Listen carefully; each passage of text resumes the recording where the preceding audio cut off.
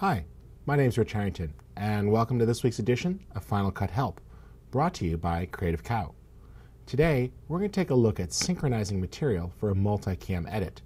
Now, the multicam features inside of Final Cut are very popular, and these work wonderful for programs, concerts, events, all sorts of genres. The key here is to get things to synchronize. Now, if you're working with high-end professional cameras and you have the option, to send out professional timecode between the cameras so they're all synced, then it's a piece of cake. But a lot of times that's not an option.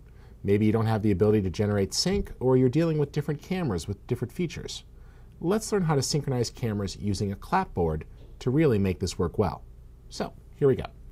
I've got a sequence open and I'm just going to drag these three shots into the sequence to get things started. There we go.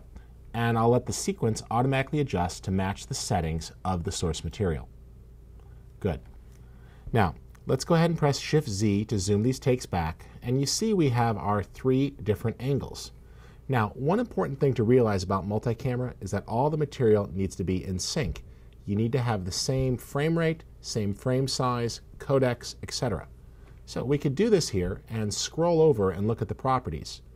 You'll notice that these three clips are all 720 by 480, 2997 shot DVC Pro 50 similar data rates, and gone ahead and marked as anamorphic, so they are all identical. And this is absolutely essential. With Final Cut Pro's multi-camera engine, you have to have things matched up. Otherwise, you can't create the multi-clip. So, here's how we do it. Let's go ahead and just drag through the clips here, and you'll see that we used a clapboard. Now, a clapboard is a very standard thing on a production shoot, and it works really well for a multi-camera shoot. All we need to do is step through until the clapboard closes and find that sync point. There it was. And if we just step back here, it's pretty easy to spot where the clapboard is going to close. Stepping back frame at a time with the arrow keys and take a look, there it is. Another easy way to see that is to actually turn on the audio waveforms and simply make the tracks bigger. And in doing so, you can quickly spot where the spikes are.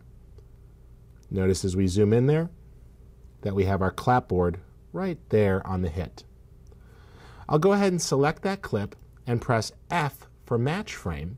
It takes me back to the original clip up here, and then I'll press I to mark an in point. Now we're marking these in points because that's another way to tell Final Cut to synchronize clips is using their shared in points. Let's go to the second clip. Go ahead and go down a little bit, press the down arrow to go to the next clip, and notice we could see the clapboard right there in the timeline. So I'll just move that until it lines up. And you'll see it close right there on the spike in the timeline. Select the clip, press F for match frame, and I to mark an in point. There we go. And let's do the last clip. Down arrow. Take a look at our next clip here and go forward until we find the clapboard. Looks like it's going to be right about there.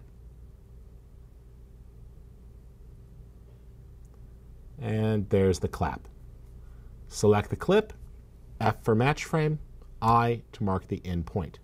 Now the process is pretty straightforward here. This particular multi-camera shoot had three different camera angles, and what we're going to do is mark those in points and then synchronize them in the process of creating a multi-clip.